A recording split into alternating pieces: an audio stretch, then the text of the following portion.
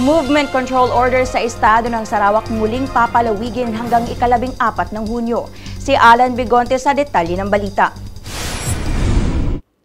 Yes, kapartner, papalawigin hanggang Hunyo 14 ang pinatutupad na movement control order dito sa estado ng Sarawak.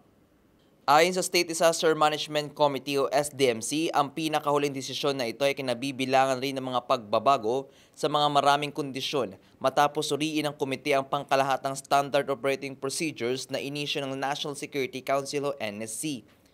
Napagpasyahan ng SDMC na ipagpatuloy ng Sarawak ang pagpapatupad ng MCO sa pamamagitan ng pagdaragdag ng mga sumusunod na kondisyon kasama ang paglilimita sa dalawang bilang ng mga individual sa mga pribadong sasakyan kabilang ang driver.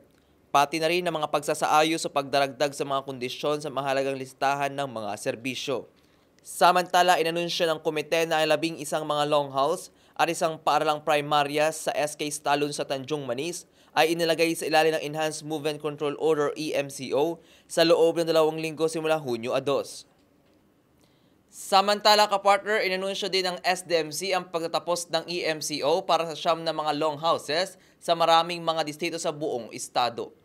Ito si Alan Bigonte, Nagulat, Kabayan News, Malaysia.